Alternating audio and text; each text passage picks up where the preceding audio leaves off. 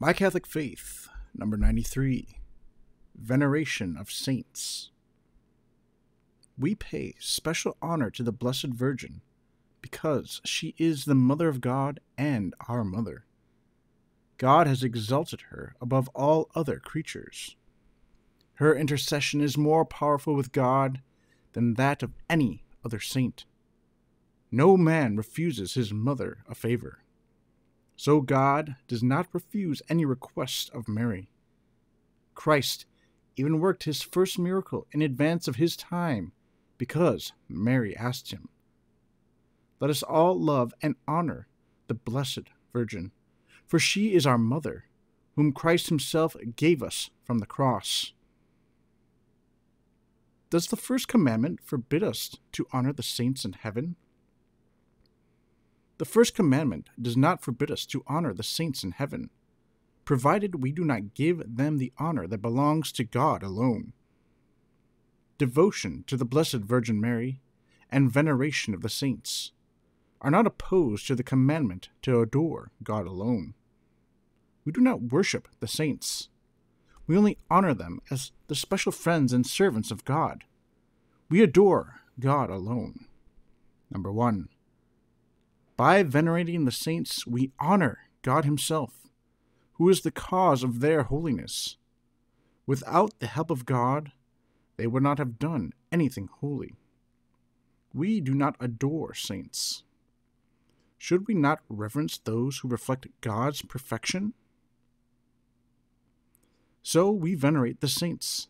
Similarly, we honor outstanding persons on earth, but we do not adore them we give to God the supreme honor and adoration, called latria.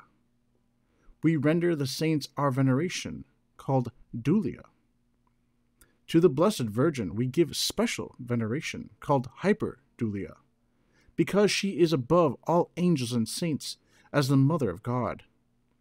But even the Blessed Virgin we do not and cannot adore or worship.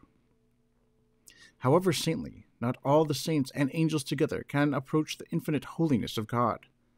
We show honor to God when we venerate those to whom was granted grace to resemble Him. Number two, those who died in the grace of God and who are already in heaven, and especially those whom the Church has canonized, are called saints. Before beatification, a very careful inquiry is made into the holiness of the person concerned. The preliminary inquiry usually does not take place until at least 50 years after the person's death.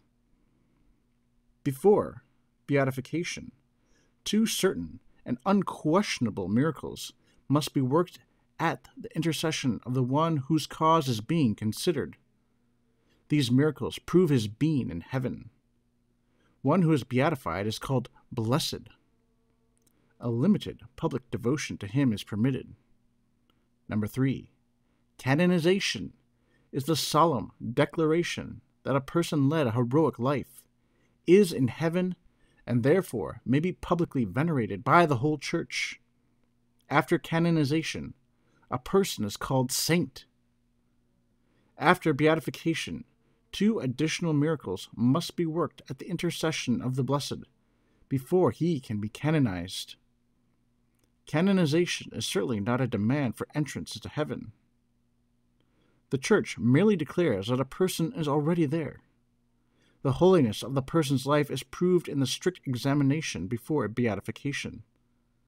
The fact of his being in heaven is proved by the miracles worked at his intercession. Why do we honor the saints in heaven? We honor the saints in heaven because they practice great virtue when they were on earth. And because in honoring those who are the chosen friends of God, we honor God Himself. Number one, while still living on earth, the saints were of outstanding holiness in themselves, and did good to others for the love of God. The cause for the beatification of someone does not take place unless such holiness is outstanding and ascertained by competent authority, or unless the miracles worked by the person proposed for beatification are of a most extraordinary character. Number two, we venerate the saints because they are the chosen friends of God and heaven. If we are eager to show honor to earthly royalty, how much more should we honor the saints of God, princes of heaven?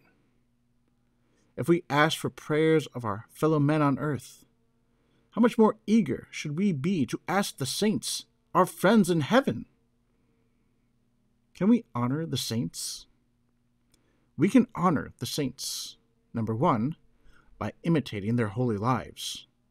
The highest honor we can pay them is to imitate their virtues. The saints are models presented by the Church before our eyes, so that we may know how to live according to the desires of God. Number two, by praying to them. We honor them by praising them in word and song and asking for their intercession. We may pray in private to anyone who we believe is either in heaven or purgatory but we are forbidden to give public veneration to anyone who is not beatified or canonized. Number three, by showing respect to their relics and images. We also give the saints honor when we celebrate their feasts or take them as our patrons and models. When we pray to the saints, what do we ask them to do? When we pray to the saints, we ask them to offer their prayers to God for us. Number one, this is what we call the intercession of the saints. If we are grateful for the intercession of a friend before an earthly superior, how much more so should we be for the intercession of saints before God? How many times have the saints obtained favors from God for men? And God likes this intercession. As he said, he would have spared Sodom for the sake of ten just men. Genesis 18:32. Number 2. Experience has proved that much is gained by invoking certain saints in times of special need. It appears that God has given to individual saints powers to help us in special needs. Thus, we invoke Saint Joseph as a patron of a happy death, Saint Anthony when we have lost anything, St. Blaise for diseases of the throat, etc. Many wonderful answers to prayer lead to the belief that the saints take particular interest in persons whose circumstances are the same as theirs were on earth. How do we know that the saints will pray for us? We know that the saints will pray for us because they are with God and have great love for us. Number one, the saints in heaven are, with us, members of the church, of one body belonging to Christ. So we, the many, are one body in Christ, but severally members one of another. Romans 12:5. Members of the same body give mutual help to each other. The saints help us by their prayers before God. On our part, we honor and imitate them. Number two, the Church omits no opportunity to urge us to the veneration of saints. At baptism, we receive the name of a saint. Each day of the year, one or more saints are commemorated. Images and pictures of the saints are placed in the churches. Saints are invoked in the Mass, the litanies, the other public prayers. The Church worships God and honors the saints as friends and servants of God. So churches and altars are dedicated and consecrated to God alone, although named after saints and placed under their protection. The holy sacrifice of the Mass is offered to God alone, although it may be celebrated in memory of the saints. In praying, we say to God, Have mercy on us, but to the saints, Pray for us, just as we would say it to a dear friend.